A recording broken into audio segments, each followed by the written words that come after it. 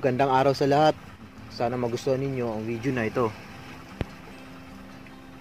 Sa laot naming ito ay nakahuli naman kami ng mga malalaking swordfish. Ang huli namin ito ay isa sa mga hindi inaasahan dahil sa lakas nito at puwersa.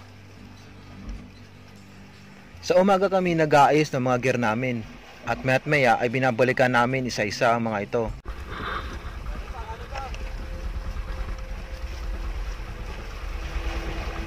Noong nagliligpit na kami, isa-isa na naming inihila pabalik sa bangka ang mga gamit namin at napansin namin na nawawala ang isa sa kanila.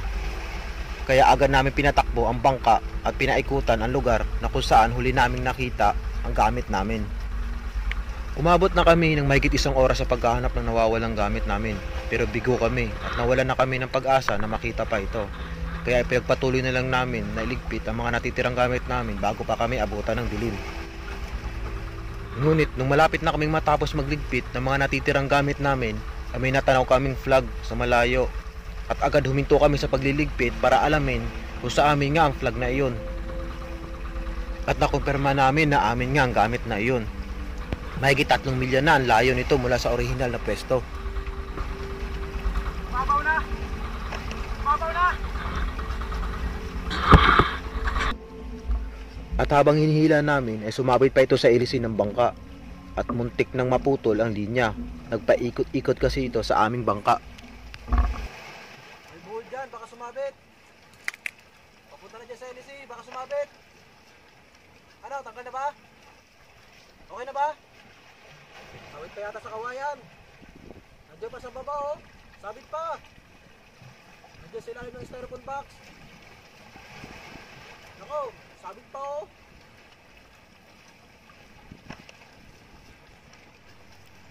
Mabuti na lang pala ay nagbago ang direksyon ng paglangoy ng isda. Sa halip na palayo sa area namin ay parang pabalik pa siya. Kaya nagduda kami na malakas ang isdang ito at mukhang may persa. Swerte pa rin namin dahil kung hindi namin nakita ito, eh sigurado ibang mangingisda makikinabang ito.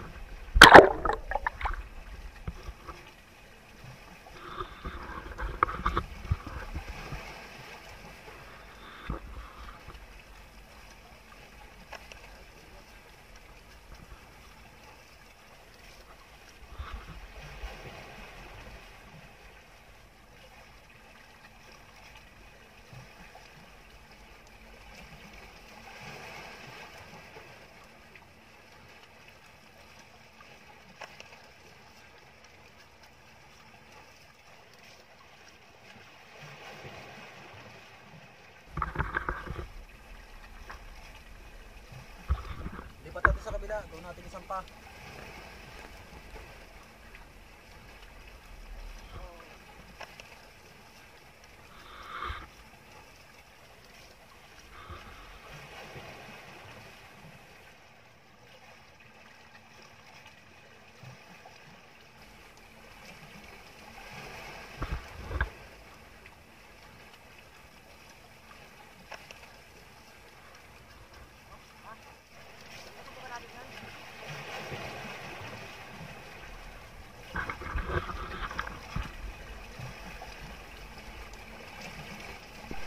Di ba natin dadagdagan ng sugat yan?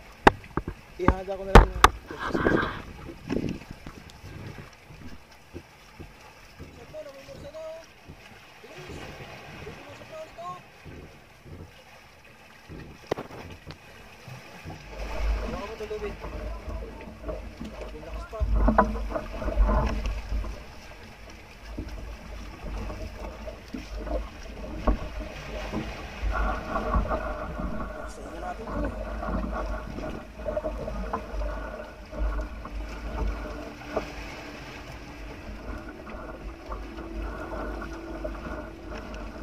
Matapos namin masibat, ay akala namin ay nanghihina na ito. Pero nagkamali kami. Napakalakas pa pala at nanlalaban pa ng gusto.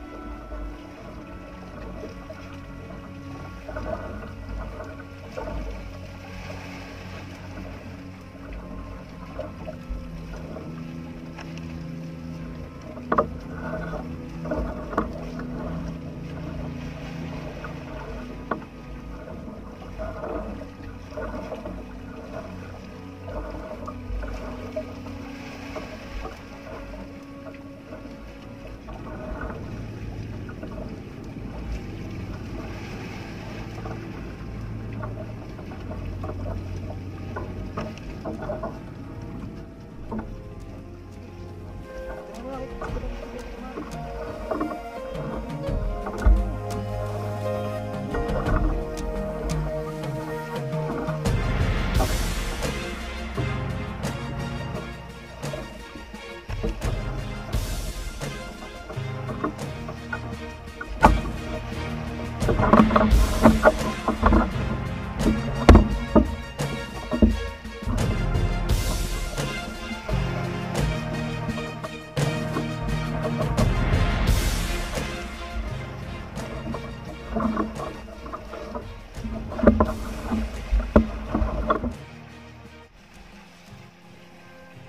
Medyo delikado ang pagsampa ng stang ito dahil buhay pa.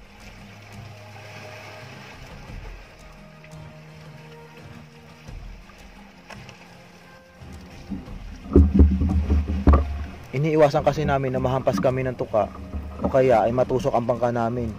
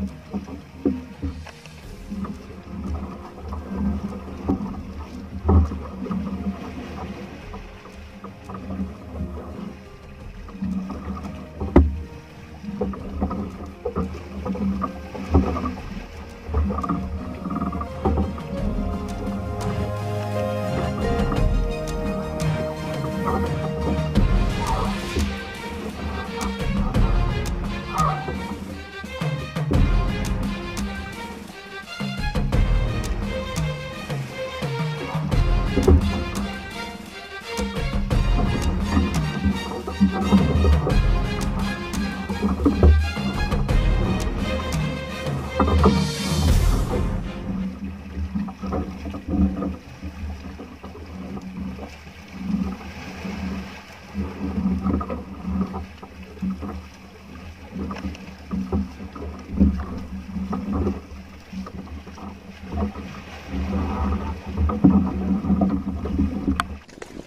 na, buhay na kami dito!